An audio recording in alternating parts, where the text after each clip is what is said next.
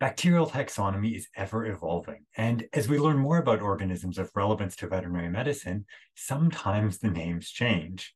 In today's lecture, we're going to be talking about Histophilus and Glaesserella, two genera that used to be considered Haemophilus.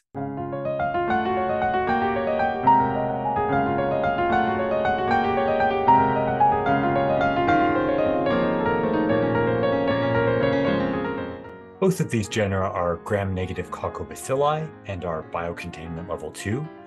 They're facultatively anaerobic bacteria, so they can grow under anaerobic conditions. And they're a little bit fastidious. They require nutritious media in order to grow. Glaesserella is quite a new genus. Um, it was recognized as distinct from Haemophilus in 2020 when uh, Haemophilus parasuis was reclassified as Glaesserella parasuis. Histophilus somni used to be called Haemophilus somnus. And so if you get into any of the older literature or references, or in the case of Glaesserella, even the not so old ones, beware of outdated taxonomy. Here you can see a pure culture of Histophilus somni on chocolate agar. Again, chocolate agar does not actually contain chocolate. It's actually lysed red blood cells. And in this image, you can see a pure culture of Histophilus somni. Um, again, gram-negative rods. They're often short and coccobacillary. You can see they're somewhat pleomorphic in this image here. These are host-associated uh, bacteria. They're part of the normal microbiota. Histophilus somni we tend to associate with the respiratory and reproductive tract of particularly cattle. Glaesserella parasuis is really primarily associated with pigs. Um, it's an organism that's an early colonizer of the respiratory tract, and we also find it on mucous membranes and in the lower genital tract. Haemophilus, the genus which used to include the organisms we're talking about today, includes 14 species. Histophilus so far only has Histophilus somni, while Glaesserella has two species, of which Parasuis is the most clinically relevant. These organisms can be differentiated from each other by the requirements for factors X and V. So Histophilus somni does not require either of these, while our uh, Haemophilus and Glaesserella species do require either or both of factor X and V. Glaesserella parasuis, for instance, requires factor V, which is NAD. We did talk about this briefly in a previous lecture, but just to reiterate, um, factor X is hemin. Uh, this is a heat stable compound that's found in adequate amounts in blood agar for most organisms, while factor V is NAD, nicotinamide adenine dinucleotide, and this is found within red blood cells.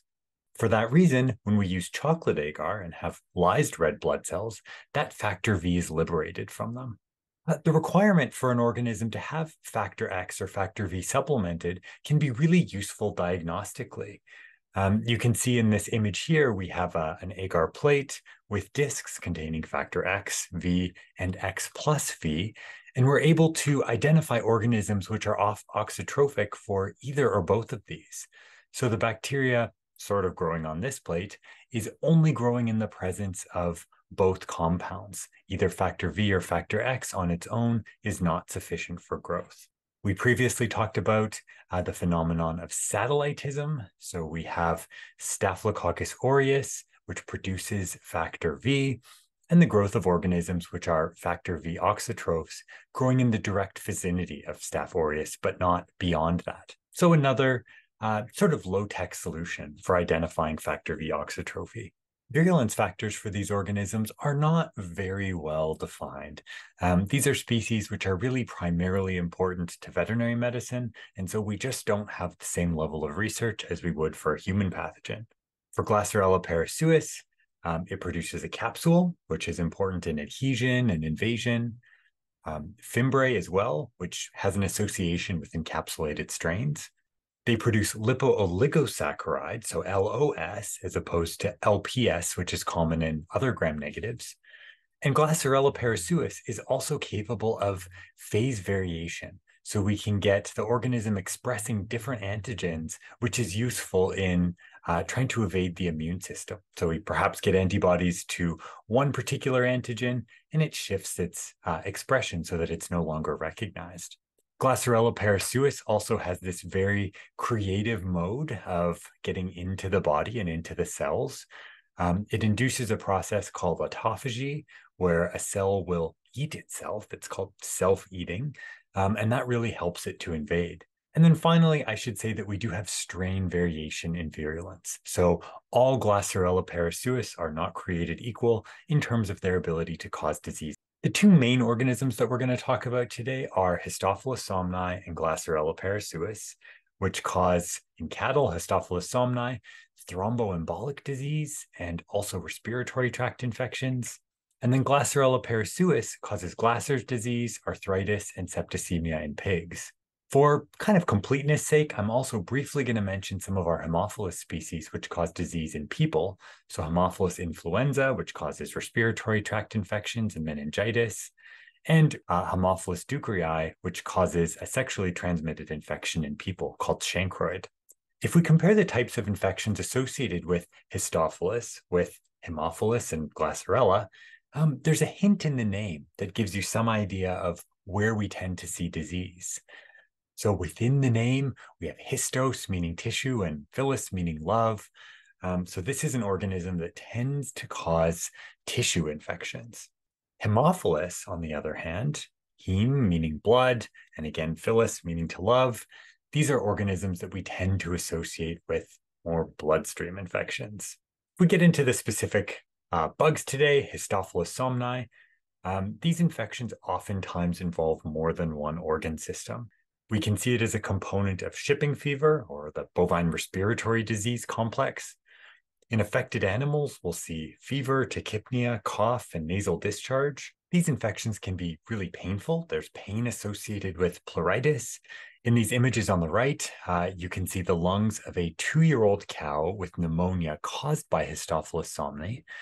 And you can see that the lungs are really congested with these multifocal areas of necrosis. So very, very abnormal. We can also see thromboembolic meningoencephalitis. So on this section here, you can see thromboembolic disease in the brain, this large area of necrosis.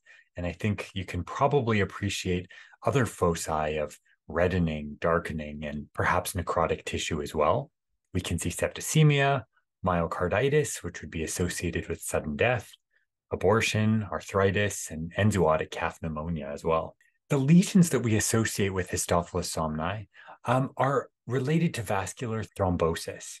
So we get tissue infarction plus necrosis with hemorrhages. And this can occur, as we've just seen, really anywhere in the body the brain, the heart, the spinal cord, kidney, intestine. And then the clinical signs associated with these lesions are really related to the site of thrombosis. So, for instance, thrombotic meningoencephalitis, which we see in older calves and yearlings, um, as an issue going on in the brain, we tend to see neurological signs. So, depression, fever, blindness, coma, and sudden death. Histophilus infections in cattle are treated with antimicrobials, and we also have vaccines available um, to help with prophylaxis.